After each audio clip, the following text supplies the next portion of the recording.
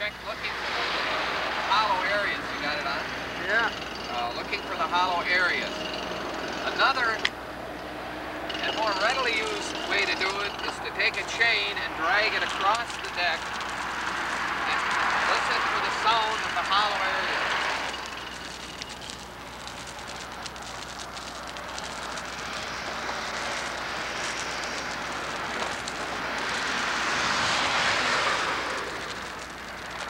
After you found the sound area, the hollow areas, spray paint the areas want to have air hammer deck prep.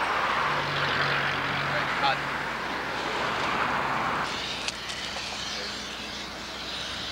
The most common way to check for deck prep on a deck that's already been cleaned is dragging a chain across the deck and listening for the hollow sound of areas of the deck that have to be removed. Now you want to come up close?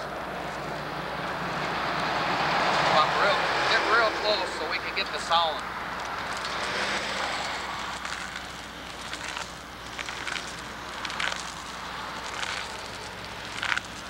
Actually, I think I've been kind of a bit.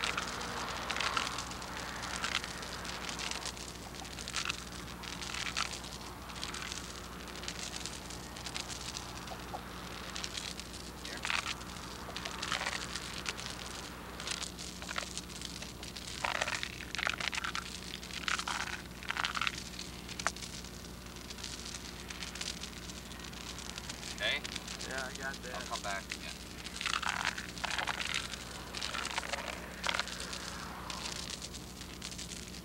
Okay? Yep.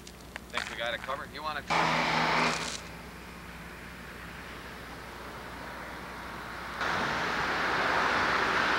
Ready? Yeah. Okay. One way to check a deck for deck prep areas after it's been cleaned is to take a hammer and tap on the deck.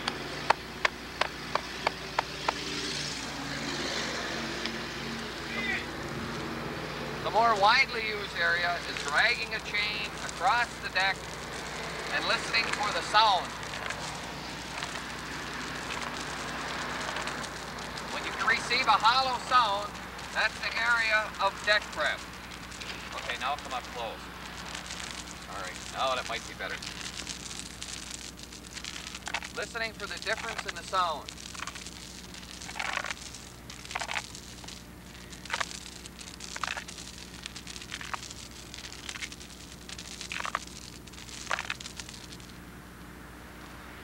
Okay, got it.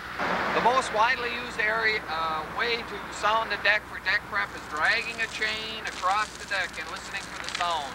When you get into a hollow area, them are the areas that we would spray paint for deck preparation or possible full depth deck repair. Suspect areas are generally areas that have been patched previously or have blacktop patches uh, or the surface is unraveling. Cut. Mm. There you go. I'll go this way one.